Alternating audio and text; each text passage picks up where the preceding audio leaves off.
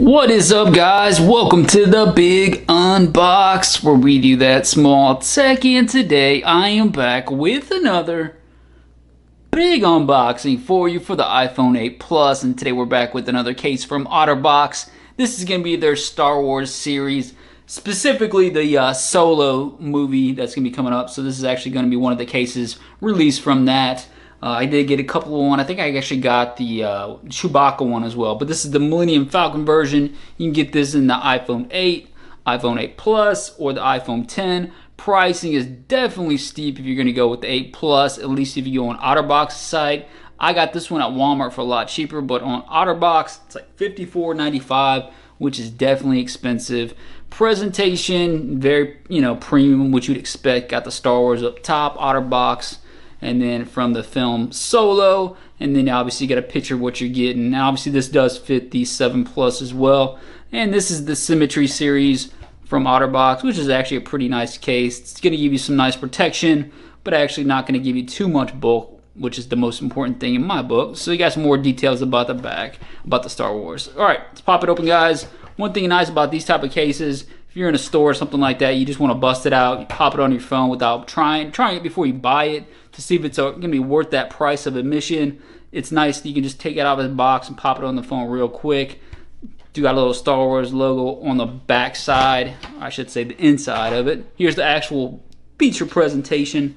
Got the all new Millennium Falcon, got the picture of it right there. This is kind of like a, a soft, glossy back to it doesn't appear it's going to get too fingerprinted up just because of the actual material and because of the actual picture on the back of it more importantly does feel premium. This is going to have one of those two it's well it's basically two in one. So it's got a hard shell back and then it's got that premium interior that's going to have that gel I should say rubber like finish on the inside you can see the pattern that's going to give you some extra shock absorption as well. So nice job. You can just tell the, the premium feel to it all the way around, including the bumper, so that you feel like if you put your phone in it, it's not going to scratch it up, which is really important.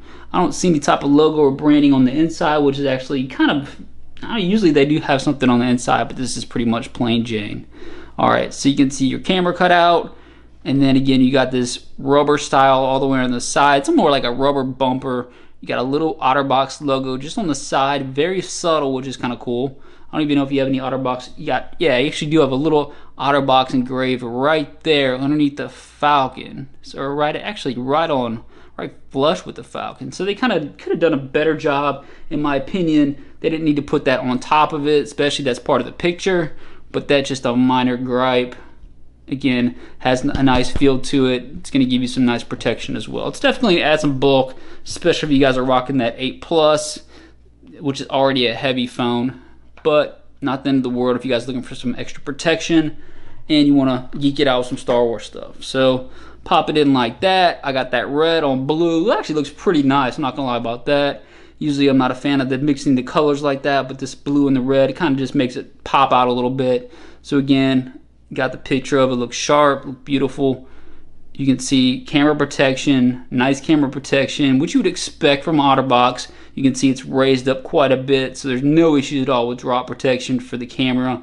Shouldn't have any issues at all. This does, like I said, add a lot of bulk. It's very, it's very heavy. I'm not gonna lie about that. It's very heavy. Let's check out that lip. Nice lip protection all the way around. You can see edge to edge lip protection.